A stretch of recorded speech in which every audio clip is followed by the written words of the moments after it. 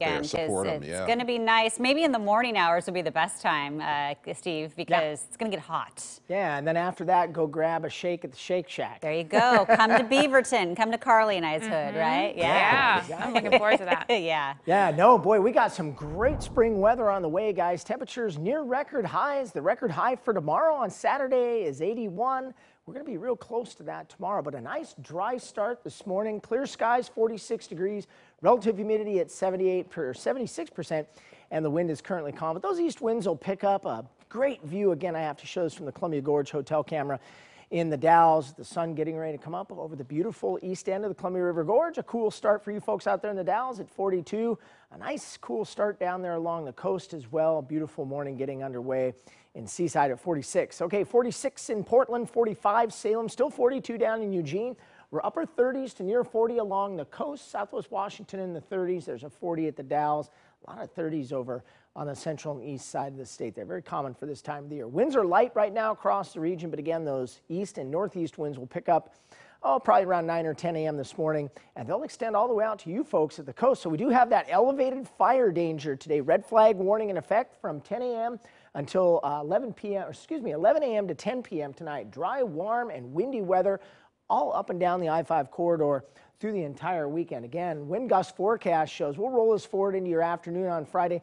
Notice those winds pick up out of the Columbia River Gorge, the western end of the gorge through southeast Portland, even you folks up in Clark County as well. Here's 4:30 this afternoon. Those winds will be gusting, oh, maybe 25 or even 30 miles per hour. But here's 10 o'clock. You notice they back off uh, fairly quickly tonight. So it's sort of a one-day event. Day planner today, we'll call it a nice start this morning. Temperatures in the mid and upper 50s by your 9 a.m. hour. And then, boy, a real nice lunchtime hour on the way, somewhere around 70, 75 for lunchtime. And then we're headed for near 80 this afternoon. Zone planner shows the coast, a beautiful day up there along the northern and central coast. We'll have offshore flow there as well, 72. The valley will go upper 70s.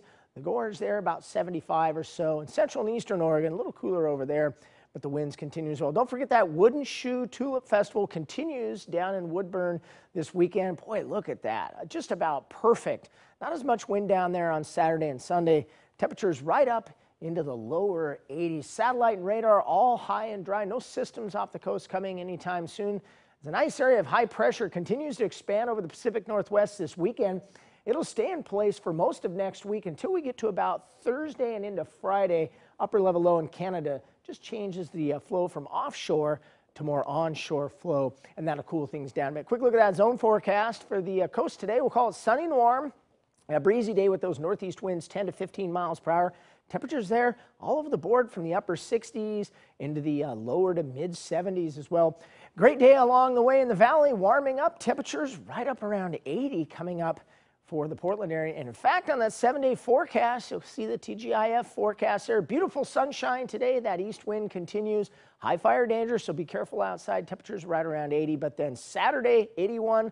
That would tie the record high for the day. Sunday, another amazing day at 80. And then we'll just cool it down slowly next week. But one thing you do see no significant rainfall anywhere in that seven day forecast. Carly? Mm, it looks so good. Can't wait to get outside. Well,